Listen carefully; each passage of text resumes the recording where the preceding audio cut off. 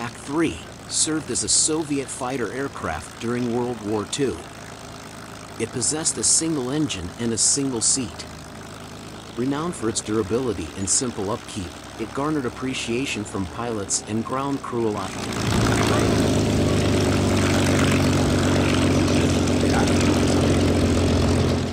Despite being among the smallest and lightest fighters deployed by any participant in the war, its exceptional power-to-weight ratio allowed for outstanding performance, making it a formidable opponent in dogfights.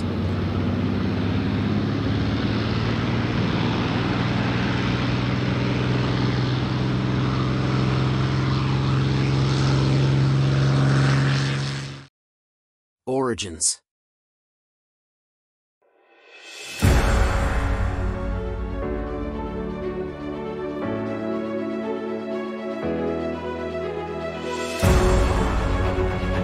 The Yak-3 can trace its roots back to 1941 when the I-30 prototype was introduced as an alternative design to the I-26, Yak-1.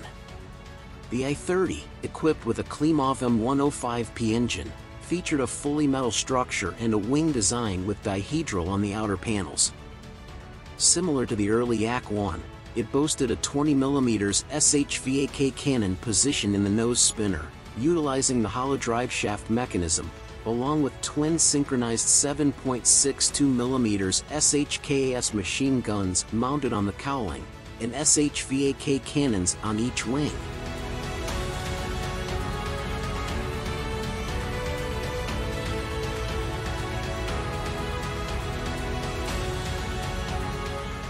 During the Battle of Stalingrad, the Luftwaffe's fighters showcased superior speed, climb rate, and armament, putting the VVS at a disadvantage.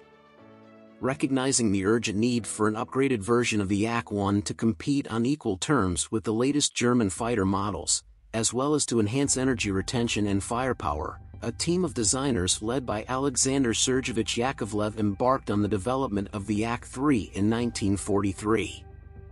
The goal was to enhance survivability, flight characteristics, and firepower, necessitating a reduction in weight, a more powerful engine, and consequently, increased speed.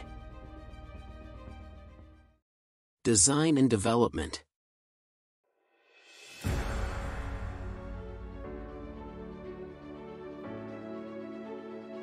The initial prototype of the Yak-3, featured a slatted wing to enhance maneuverability and improve performance on short runways.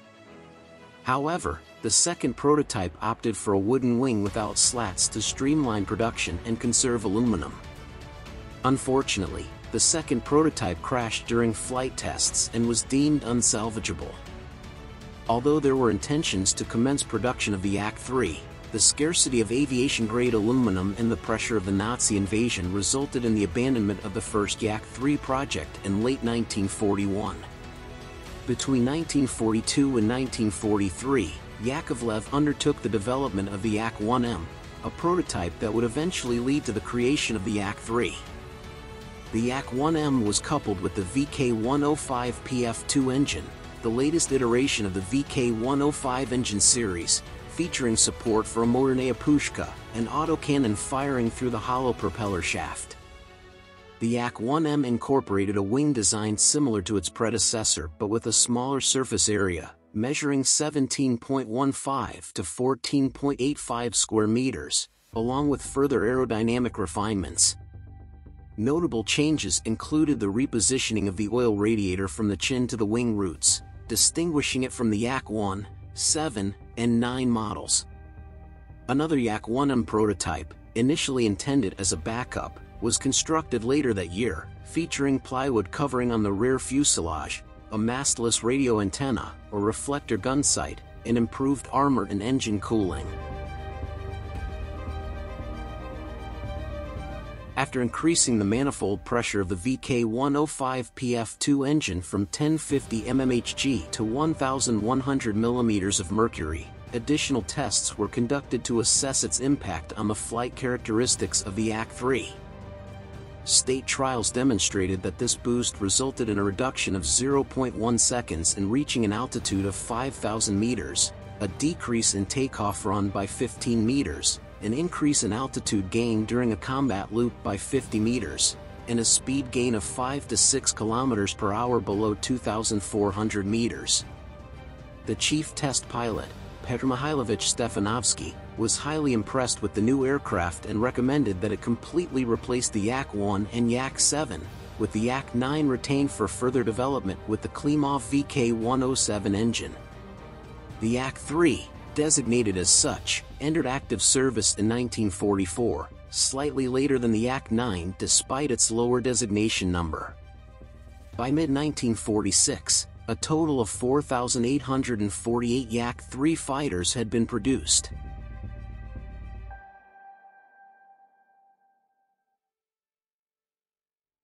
It's worth noting that the designation Yak-3 was also used for other Yakovlev projects, including the proposed but never constructed heavy twin-engine fighter and the Yakovlev Yak-7A. The initial 197 Yak-3 aircraft were equipped with light armament, featuring a single 20mm SHVAK cannon mounted in the Motornaya Pushka configuration, along with one synchronized 12.7mm UBS machine gun. Subsequent variants incorporated a second UBS machine gun, resulting in a weight of fire of 2.72 kilograms per second using high explosive ammunition. All armaments were positioned close to the aircraft's axis, with the cannon mounted in the engine V firing through the propeller hub and the synchronized machine guns placed in the fuselage. This configuration improved accuracy and relieved stress on the wings. Operational History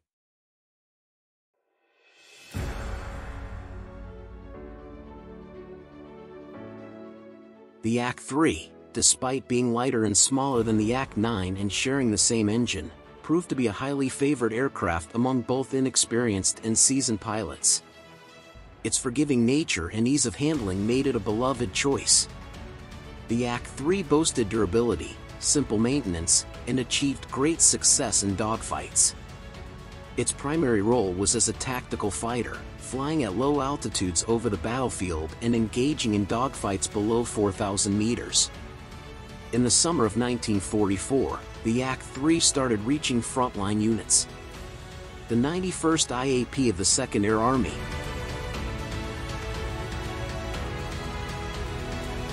The Yak-3 did face some unresolved issues during the war, including delamination of plywood surfaces when the aircraft pulled out of high-speed dives, limited range, and engine reliability problems.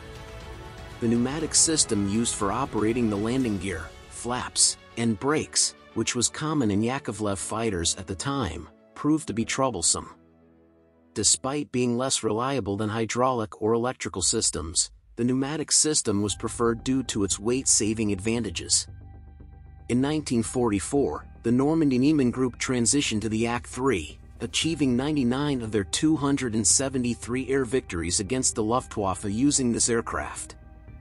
Overall, the Yak-3 suffered 210 losses in combat, with 60 occurring in 1944 and 150 in 1945. Modern production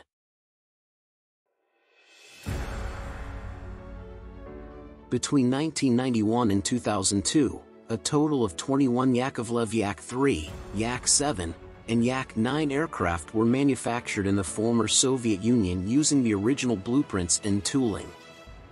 These aircraft were equipped with American Allison V1710 or Pratt & Whitney R1830 twin Wasp engines instead of the Klimov V12 engines used during World War II.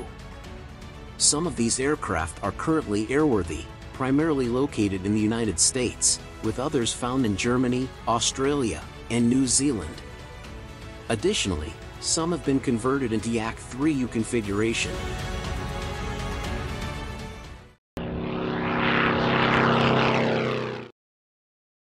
If you enjoy these types of videos, please like and subscribe to our channel. It will help YouTube algorithm to serve more viewers like you. Thank you.